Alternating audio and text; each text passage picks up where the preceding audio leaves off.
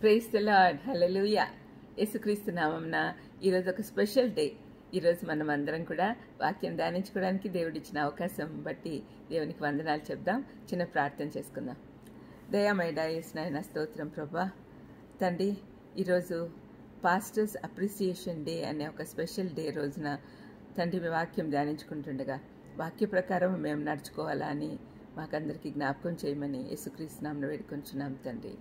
శ్రోతలందరికీ వందనాలు.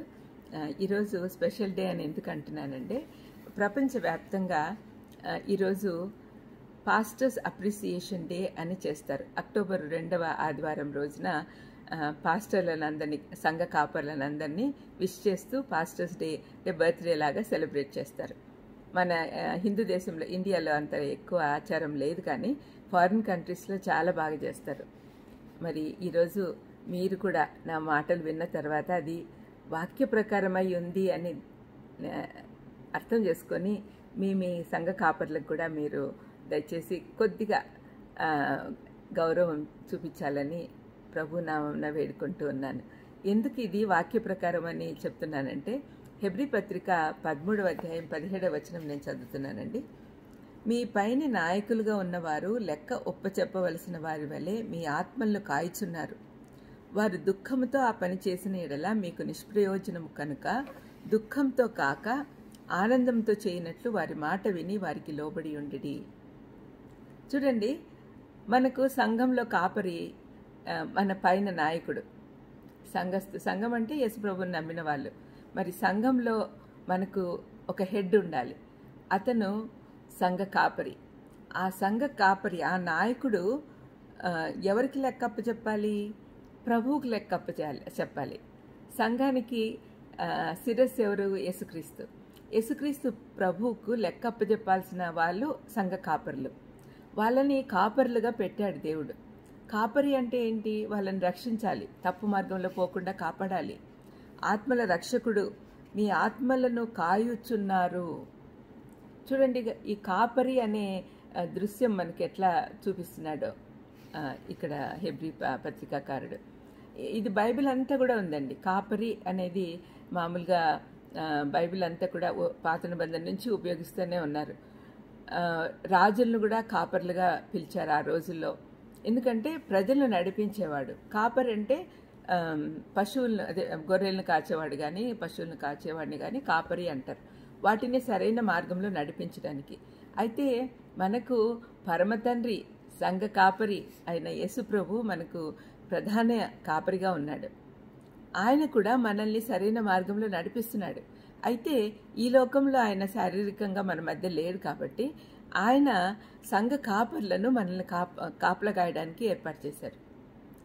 మనకు హెచ్చరికలు ఇవ్వాల్సిన వాళ్ళు వాళ్ళు. మన ఆత్మలు ఆత్మలు కాపాడేదానికి వాళ్ళని ఏర్పరిచాడు దేవుడు. వాళ్ళు చెప్పిన మాటలు ఎందుకు చెప్తారు? మన ఆత్మీయ అభివృద్ధి కోసం మనకు చెప్తారు. మరి ఇటువంటి గొప్ప బాధ్యత కలిగిన సంఘ కాపర్లు సంతోషంగా సేవ చేస్తే బాగుంటుంది కదా. వాళ్ళు మన కోసం ఎంత చేస్తున్నారు. రాత్రి పగళ్ళు ప్రార్థన చేస్తూ ఇది అపోసుల కార్యము ఇరవయో అధ్యాయంలో అపో అపోసులుడైన పౌలు తన పరిచర్య గురించి చెప్పిన మాటలు అద్భుతంగా ఉంటాయండి. ఒకసారి మీకు చదివి వినిపిస్తాను.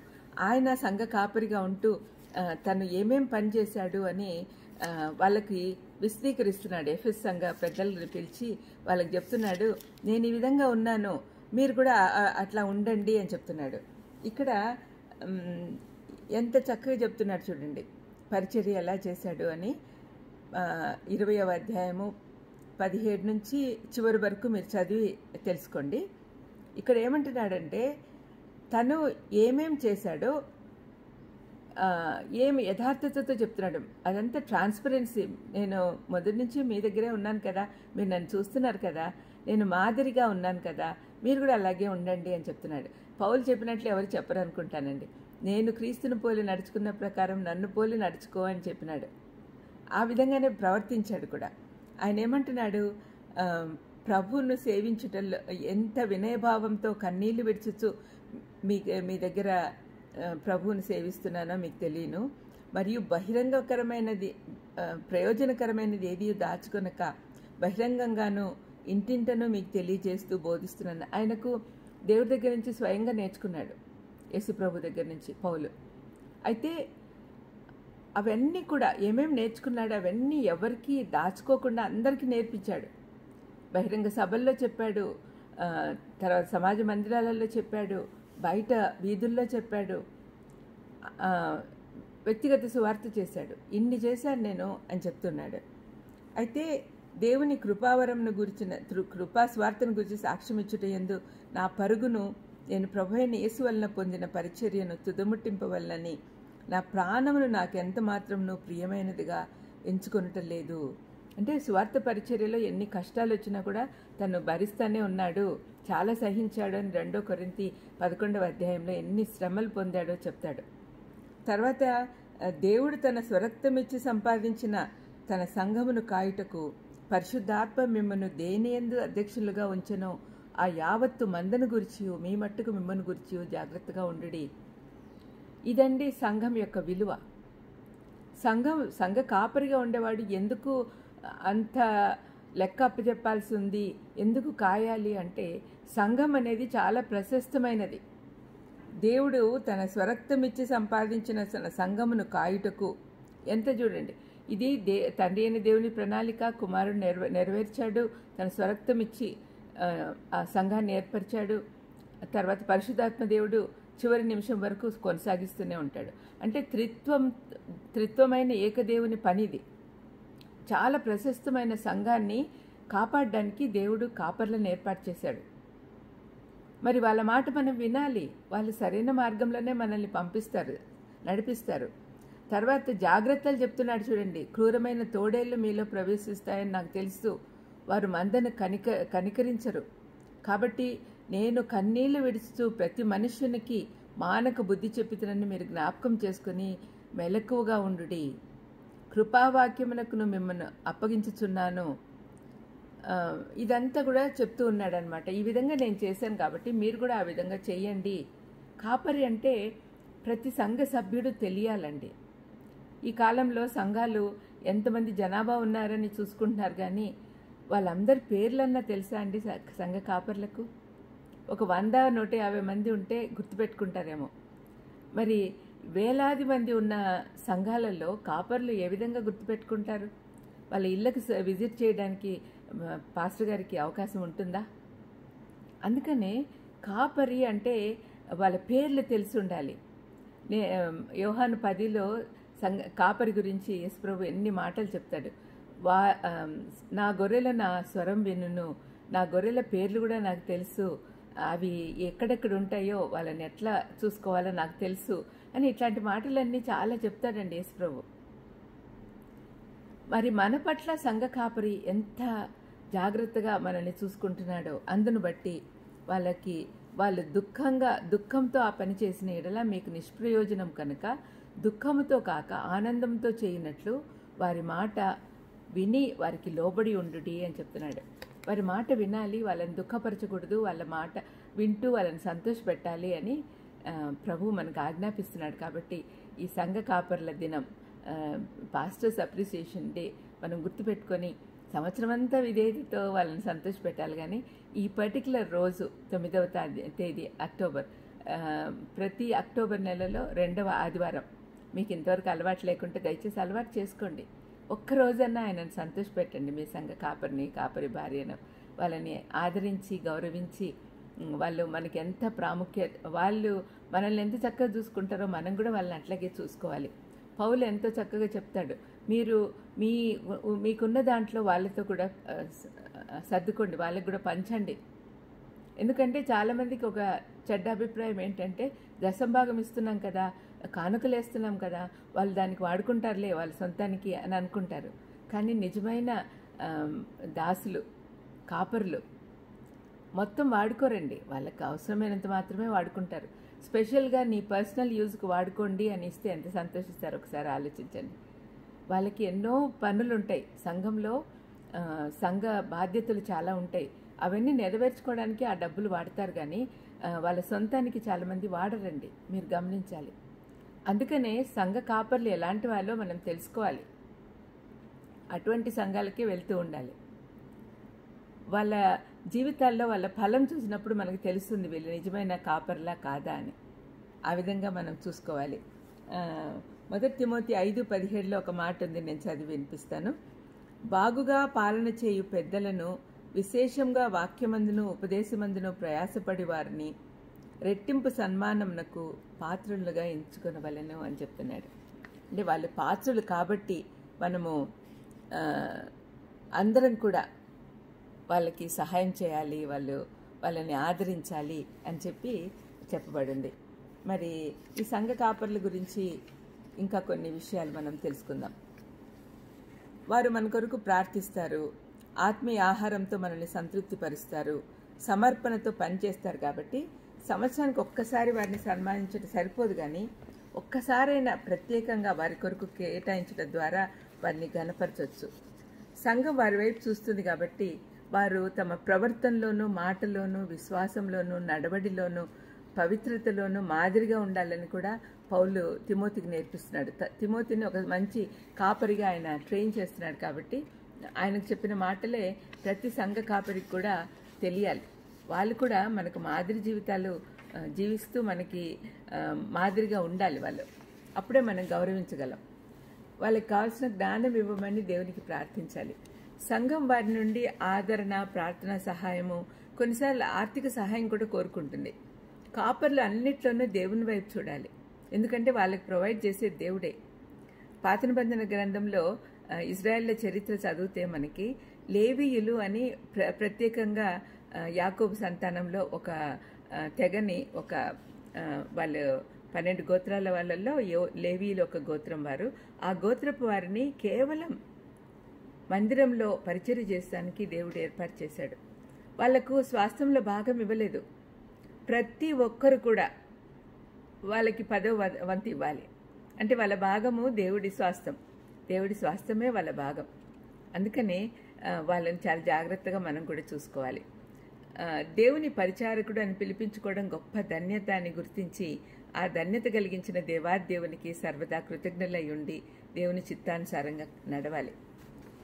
సంఘ కాపరి దేవుని పరిచారకుడు పాస్టరు అని పిలిపించుకోవడము కొంతమందికి అవమానకరంగా ఉంటుంది ఏంటో తక్కువ స్థాయి అని అనుకుంటారు. కానీ అది ఒక గొప్ప ప్రత్యేకత అండి. ఆ ధన్యత అని ఆలోచించిన రోజున మనం సంఘ కాపర్లుగా ఉండడానికి కూడా ఇష్టపడతాం. నేను బైబిల్ కాలేజ్ చదువుతున్న రోజుల్లో పదమూడు సంవత్సరాలు అయిందని నేను పరిచర్యకు వచ్చి ముందు నాకు పెద్దగా వాక్యం తెలియదు అంతకుముందు బైబిల్ కూడా సరిగా చదివిన పాప బోలే. సారీ చదివిన జ్ఞాపకం లేదు. మరి అటువంటప్పుడు నేను చదవడం మొదలుపెట్టాక బైబిల్ కాలేజీలో చేరాను ఎండి చేశాను MTh old testament MTh new testament చేశాను డాక్టరేట్ కూడా వచ్చింది. అయితే ఎప్పుడు కూడా ప్రతి గ్రాడ్యుయేషన్ అప్పుడు నేను నాకెంత కోరికగా ఉండేది. నాకు కూడా ఆర్డినేషన్ తీసుకుంటాను నేను కూడా పాస్టర్ని అవుతాను అని. అయితే మా మా బైబిల్ కాలేజీలో ఆర్డినేషన్ ఇవ్వరండి. మీ చర్చిల్లో తీసుకోండమ్మా అని చెప్పేవాళ్ళు. అయితే ఎవరికైనా అభ్యంతరకారంగా కారకంగా ఉంటే ఎందుకు లేదు తీసుకోవడం అని చెప్పి నేను ఎప్పుడు తీసుకోలే కానీ నాలో ఒక బలమైన కోరిక నా నేను కూడా పాస్టర్గా పిలిపించుకోవాలి అని.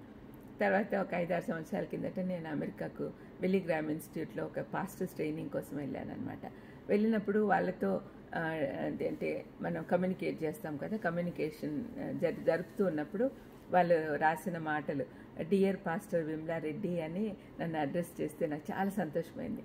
ఓ I become a pastor I'm called as a pastor అని చెప్పి చాలా సంతోషపడ్డా. ఈ కాలంలో కొంతమంది దే దేవుని మాటలు చెప్తూ ఉంటే స్టూడెంట్స్ కానీ ఉద్యోగస్తులు కానీ ఇదిగోండి పాస్టర్ గారు వచ్చారని ఎగతాళిగా హేళనగా మాట్లాడుతూ ఉంటారు. అయితే మనం ఎప్పుడు అయితే అది ఒక ఆధిక్యత అని తలస్తామో అప్పుడు అలా పిలుస్తున్నా కూడా ఏం అనిపించదండి. ఎందుకంటే మనం కాలర్లు ఎగరేసుకునే సమయం మనం గొప్ప పని చేస్తున్నాం దేవుడి పరిచారకులం దేవుడి మినిస్టర్లం. ఈ ఇహలోక మినిస్టర్లు ఎంత గొప్పలైనా అనుకోవచ్చు కానీ మనం దేవుని దేవుని రాజ్యంలో మనం మినిస్టర్స్. ఎంత గొప్ప విషయం చూడండి. మరి మనకు ఎక్కువ ఆధిక్యత ఉంది అని కాపర్లు అనుకోవాలి. వాళ్ళకు ఎవరి ఎవరి దగ్గర నుంచి ఏమైనా వనరులు కావాలి అంటే ఎక్కడి నుంచి వస్తే దేవుడే సప్లై చేస్తాడు. మరి ఆ- అటువంటి విశ్వాసం ఉండాలండి కాపర్లకి. సంఘ కాపరి కొన్ని మంచి లక్షణాలు అల- అలవరుచుకోవాలి. దేవుడు ఏర్పరచుకున్న వారికి పరిశుధాత్మ దేవుడు సామర్థ్యాన్ని కూడా ఇస్తాడు. వారికి తప్పనిసరిగా ఉండాల్సిన కొన్ని లక్షణాలు ఏంటంటే ప్రార్థనాపరుడుగా ఉండాలి. దేవునికి సంఘానికి లెక్కప్ప చెప్పాల్సిన వాడిగా ఉండాలి. సేవ చేయడానికి చేయడానికి ఆసక్తి కలవారుగా ఉండాలి. గొప్ప సాక్షిగా ఉండాలి. సాక్ష్యం ఎప్పుడు పోగొట్టుకోకూడదండి. వాక్యానికి విధేయులై ఉండాలి. సదా ఆత్మల వేటలో ఉండాలి ఆత్మల భారం కలిగి కలిగి ఉండాలి. పౌలు తెస్లోనికేల్కి వ్రాసిన మొదటి పత్రిక రెండవ అధ్యాయము ఒకటి నుంచి పన్నెండు వరకు చదవండి. దాంట్లో చాలా లక్షణాలు కనపడతాయి మనకి. నేను కొన్ని విషయాలు మాత్రం మీకు చూపిస్తాను. దాంట్లో ఈ వాక్య భాగంలో సంఘ కాపరి యొక్క నాలుగు రూపాలు చిత్రీకరిస్తూ ఉన్నాడు పౌలు. పౌలు శీల తిమోతి కలిసిన వ్రాస్తున్న పత్రిక ఇది. పౌలు చెప్పిన ఈ పాత్రలన్నీ మనం ధ్యానిస్తూ ఉండగా కాపరిగా దేవుడు ఏర్పరిచిన ప్రతి సంఘ కాపరి జాగ్రత్తగా వీటిని గమనించి వారిలో ఈ లక్షణాలు ఏమైనా ఉన్నాయా లేదా అని చూసుకొని అలవర్చుకోవాలని ప్రభు నామన కోరుతూ ఉన్నాను.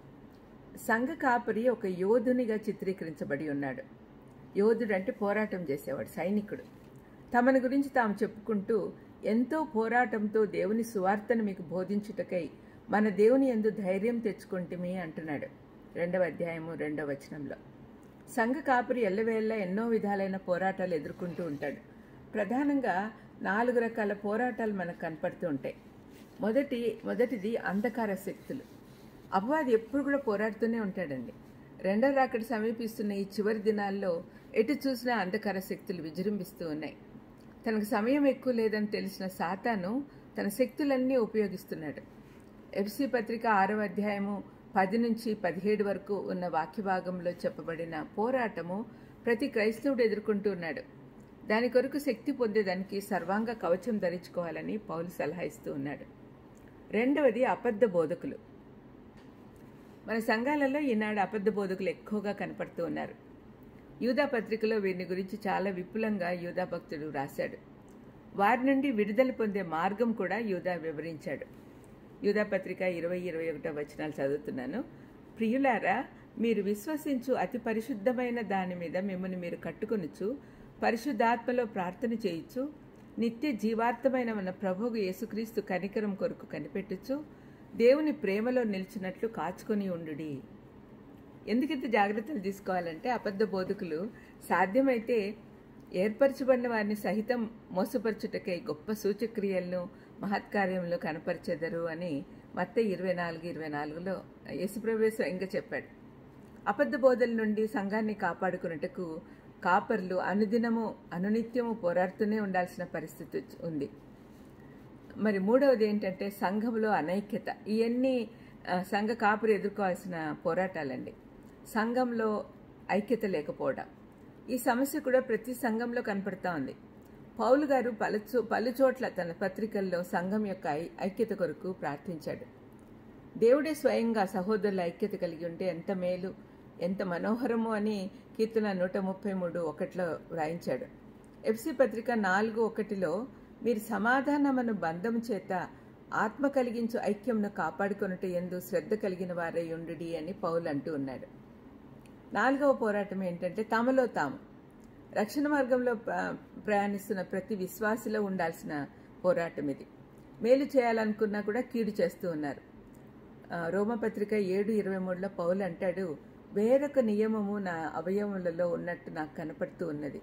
అది నా మనస్సునందున్న ధర్మశాస్త్రంతో పోరాడుచు నా అవయవములలోనున్న పాప నియమనకు నన్ను చెరపట్టి లోపరుచుకుంటున్నది అని అంటున్నాడు. పౌలంతటి వాడు కూడా ఈ పోరాటము ఫేస్ చేయలేక బాధపడుతూ ఉన్నాడు. మరి మనం అందరం కూడా ఎంతటి వారం మనం కూడా ఇట్లాంటి పోరాటం చేస్తూ ఉండాలి. ప్రతి మనిషిలో ఉన్న అంతర్ మనిషి పరిచర్యలో ముందుకు పోవాలనుకుంటే బాహ్య మనిషి పరిచర్యలో ఉన్న సమస్యలన్నిటిని బట్టి బట్టి వెనకాడుతూ ఉన్నాడు. అందుకని మనం సహాయం చేయాలి మనం ప్రార్థన చేయాలి వాళ్ళ కోసం.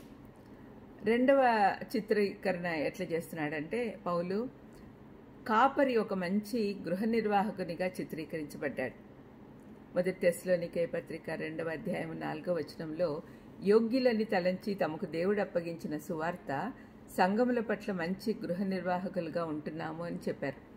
సత్య సువార్తను సమయమనక అసమయమనక బోధిస్తూ తమ సంఘాలను ఆత్మీయంగా పెంచుకునే బాధ్యత చేస్తున్న కాపర్లను మనం గౌరవించాలి.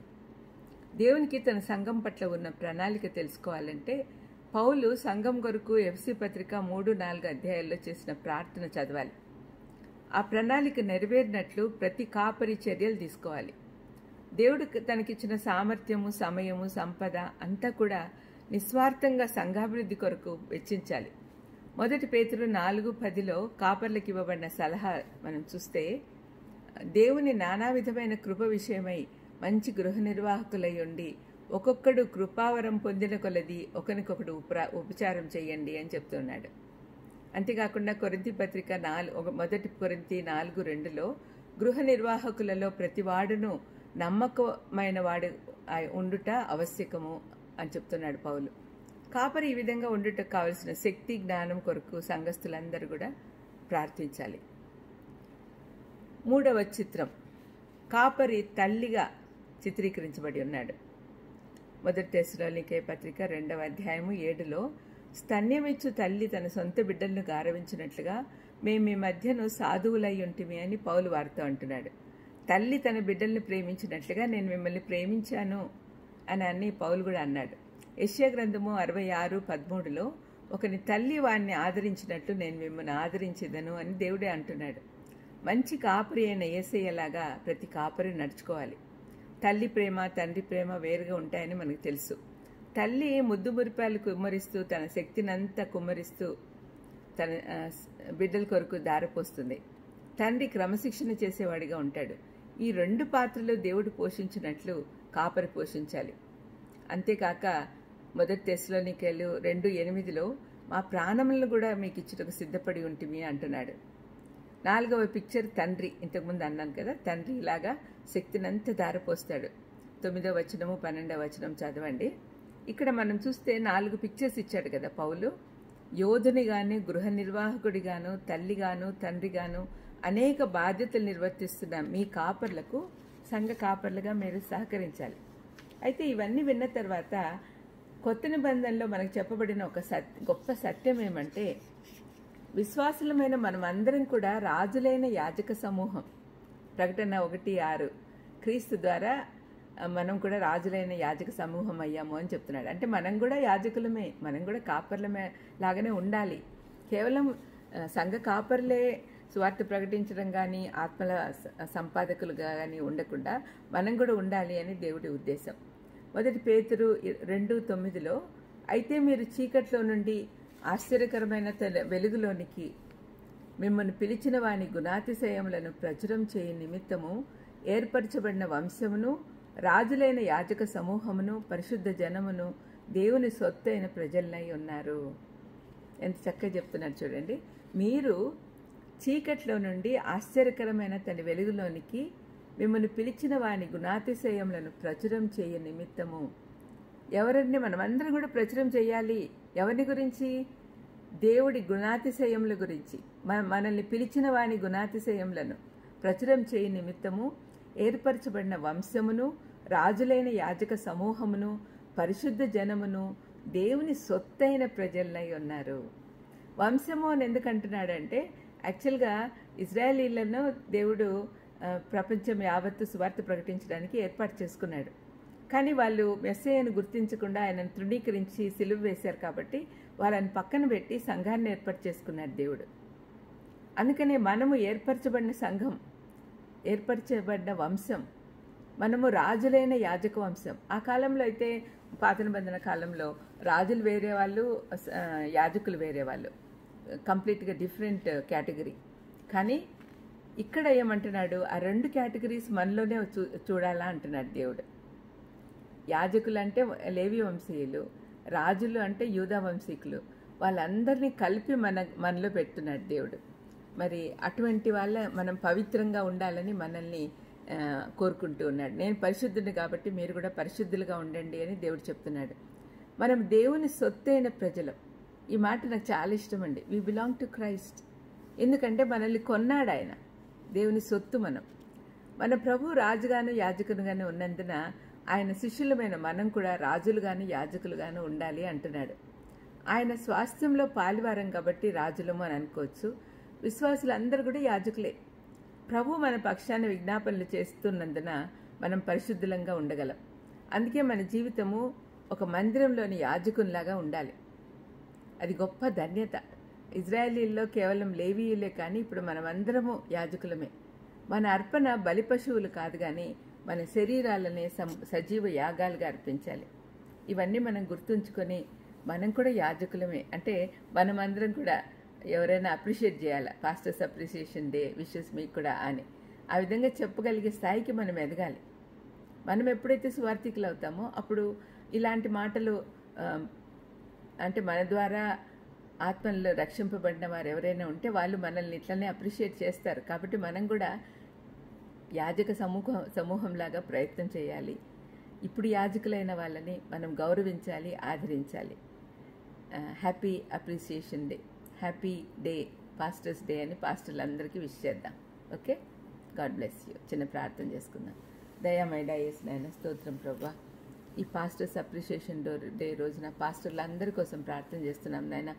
అవును తండ్రి ఎన్నో శోధనలు ఎదుర్కొంటున్నారు. అబద్ధ బోధకులు ఎక్కువైపోతున్న ఈ కాలంలో సరైన బోధలు చేస్తూ మంచి కాపర్లుగా ఉండేవాళ్ళు చాలా తక్కువ మంది ఉన్నారు నాయన. మరి వాళ్ళు కాపరిగా ఎన్నుకోబడిన ప్రతి ఒక్కరు కూడా తండ్రి ఆర్డినేషన్ పొందిన ప్రతి కాపరి కూడా తండ్రి. మీ నామ మహిమార్థం జీవిస్తూ తండ్రి బైబిల్లో వాళ్ళకి ఏమేమి ఆజ్ఞలు ఇచ్చారో అవన్నీ కూడా వాటిని పాటిస్తూ వాళ్ళే కాకుండా ప్రతి విశ్వాసి కూడా పాటిస్తూ వాళ్ళని అప్రిషియేట్ చేసేటట్టు చేయమని యేసుక్రీస్తు నామను వేడుకొంచున్నాను తండ్రి. ఆమెను. God bless you